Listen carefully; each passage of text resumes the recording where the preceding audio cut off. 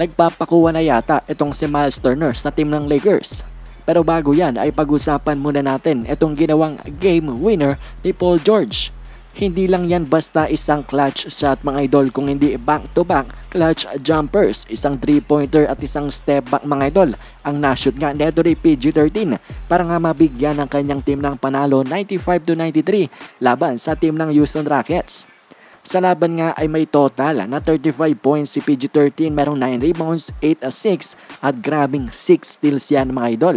Para naman sa kanilang kalaban ay pinangunahan sila ni Kenyon Martin with 23 points. Talaga namang buhat mode ang ginawa neto ni Paul George mga idol sa kanyang team. Matapos nga netong mga nakaraan ay nag struggle nga siyang umiscore. Ngayon mga idol ay pinakita niya na kaya niyang buhatin ang team ng Clippers. At yayon, panalo nga sila. Next balita naman natin, grabe nga ang ginagawa ng duo ng Memphis Grizzlies, ang kanilang backcourt. Dahil itong si Desmond Bain mga idol this season ay nag-average lang naman ng 24.2 points per game, 4.7 rebounds and 5 assists per game. Samantalang itong si Jamorant ay grabe rin naman, 32.6 points per game, 4.8 rebounds at 6.8 assists per game. 52% sa field at 56% sa kanyang mga 3-pointers. Grabe nga ang tinatala ng up and coming duo na ito mga idol. Kaso hindi nga masyado maganda ang kanilang record. Ngayon sa season ay meron silang 4 wins and 3 loss. 2 game losing streak nga sila mga idol at sila ay nakaupo sa pang number 8 spot dito sa Western Conference.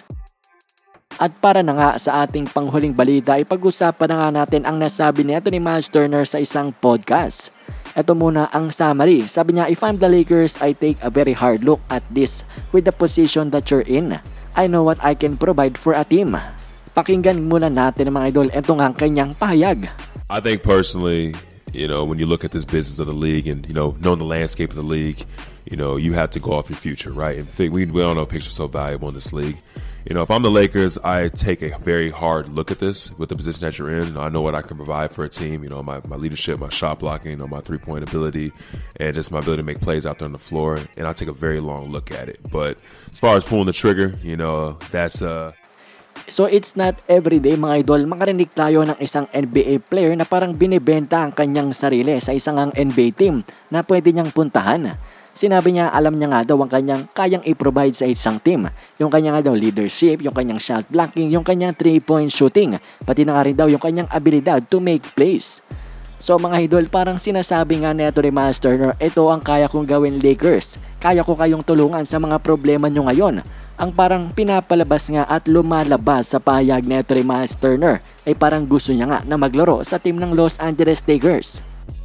Kayo ba mga idol, ano ba ang masasabi nyo sa kanyang payag? Komento nyo lamang yan sa ating comment section.